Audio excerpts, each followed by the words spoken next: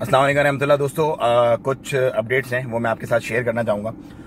Number एक तो ये कि आरओपी ने अपनी ई वीज़ा जो सर्विसेज़ हैं वो रिज्यूम कर दी है। मतलब आप ई वीज़ा अप्लाई कर सकते हैं उनकी वेबसाइट पे जाके। और कैसे अप्लाई कर सकते हैं वो मैंने एक वीडियो ऑलरेडी डाली हुई है। अगर आप मेरी प्ले में जाएँगे नीचे या इस वीडियो के आखिर में जो प्ले होगी उसमें आपको मिल जाएगी। आप क्लिक करेंगे तो वीडियो आपको मिल जाएगी how to apply e visa so आप जितने भी लोग वीजाज के लिए मुझसे पूछ रहे थे तो आप अपने ई वीजाज उस कैटेगरी में जितने भी वीज़ा आते हैं, वो आप अपने नए वीज़ा अप्लाई कर सकते हैं। ये तो है एक अपडेट आरओपी की वीज़ा के पॉइंट ऑफ़ व्यू से। दूसरा नंबर ये कि कोविड के इंश्योरेंस, जब एक अक्टूबर को ये एयरपोर्ट खुल जाएगा तो तब से कोविड वाली जो इंश्योरेंस है, वो भी आपको लेनी पड़ेगी। और उसके लिए बहुत सिंपल है, पैनिक होने की ज़रूरत नहीं है। जो भी ये एजेंसीज हैं जो देती हैं अपना इंश्योरेंस जैसे बहुत सारी हैं। अब मैं नाम लूँगा तो वो फिर पब्लिसिटी हो जाएगी, लेकिन मैं नाम नहीं ले रहा किसी का। लेकिन जो भी मेडिकल इंश्योरेंस प्रोवाइड करती हैं कंपनीज़ वो कंपनीज़ आपको कोविड की इंश्योरेंस भी दे सकती हैं।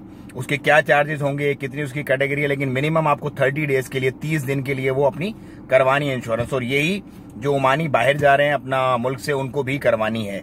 तो ये दोनों के लिए है। और जो एक और बात यह है कि जितने भी लोग ट्रेवल कर रहे हैं एयरपोर्ट ओपन होने के बाद, एक हैंड बैग सिर्फ़ अलाउड होगा, सिर्फ़ एक हैंड बैग लैपटॉप समेत मतलब ऐसे नहीं है कि पहले हम होता था लैपटॉप का अलग बैग ले लेते थे, सात किलो का एक हैंड बैग अलग होता था ड्यूटी फ्री की शॉपर्स अलग होती थी। अब वो सब कुछ मिला के सिर्फ़ और सिर्फ़ एक अलाउ किया जाएगा।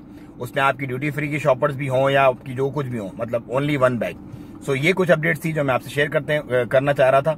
और इससे आप ज़्यादा से ज़्यादा लोगों में आगे शेयर करें ताकि लोग परेशानी से बचें।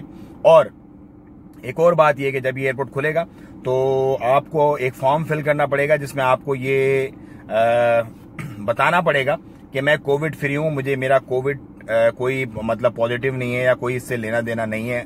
उस वक्त तक जिस वक्त आप वो फॉर्म फिल कर रहे होंगे। और इन केस अगर खुदा ना खास्ता आपको यहाँ पे उतरने के बाद आ जाते हैं सिम्टम या आपका टेम्परेचर हाई आता है तो आपको शिफ्ट कर दिया जाएगा, जो सेंटर यहाँ पे बनाए हुए हैं कोविड से रिलेटेड। उम्मीद है ये अपडेट्स आपको समझ आ गई होंगी। अगर नहीं आई समझ तो फिर कमेंट करें। मैं इंशाल्लाह आपको कोशिश करूँगा जवाब देने की। अपना और अपनों का बहुत ख्याल रखिएगा। मुझे दें इजाज़त। असला